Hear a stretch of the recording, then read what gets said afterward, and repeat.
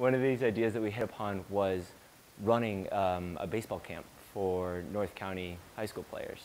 And the reason that we, that we focused in on North County was a little more personal for me. I grew up in Ferguson and, and eventually played my high school ball in Clayton, um, along with John Howard, who's another captain on our team.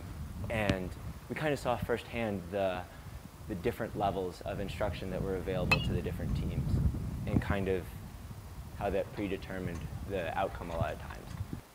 And so when we were thinking about communities that our team would be able to connect with easily and also be able to impact pretty readily, uh, the, our North County um, high school baseball players came immediately to mind. And so I kind of just spent this summer reaching out to different athletic directors and seeing if they would have any interest. The, the response was overwhelmingly positive. Every, every AD really just emphasized how, how thankful they were that we had reached out to them. Uh, and you know, the summer gets busy, so you know, some, some picked up and some didn't. But uh, everyone that we reached out to was really excited about the idea.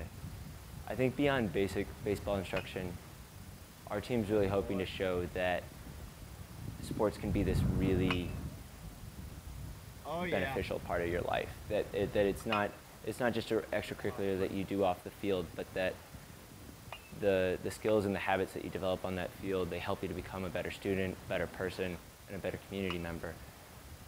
And I think it's not just us giving; it's also us receiving a lot too. These are WashU students don't often get off of campus, and if they do, they're very much often in their own groups. So this is a, a unique experience for our team to jointly get to know St. Louis a little bit better. I thought I wanted to get as far away from St. Louis as possible. And it turned out that I came here, and it has been the most wonderful experience of my life.